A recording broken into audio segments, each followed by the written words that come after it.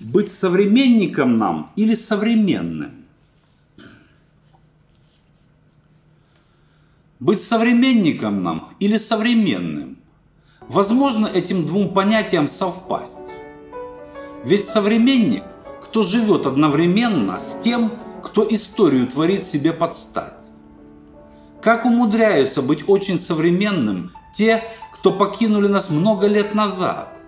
Каждый из них не наш был современник, но почему дела их современно так звучат?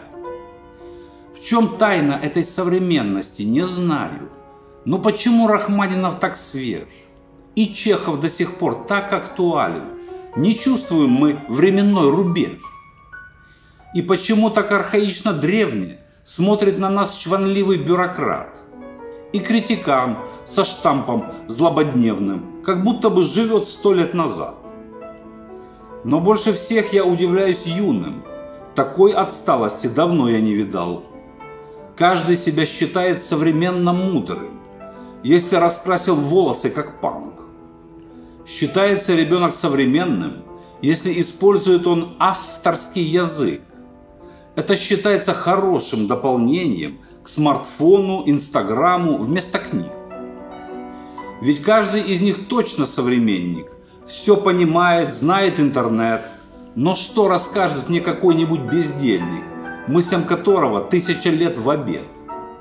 И дедушка, и папа их был панком, и тоже красили волосья в дивный цвет. И каждый думал, что он был оригиналом, но много современных из них нет. Не может сделать человека современным лишь подражание и бездуховный труд. А если труд считается презренным, то современным стать такие взгляды не дадут. И абсолютно все равно, какое племя, да и какая нас эпоха родила. Лишь современниками делает нас время, а современными нас делают дела. О существенном и важном, существенном и важном Позабыв о суете, доктор Волощук СД С вами говорит стихами, существенном Волощук СД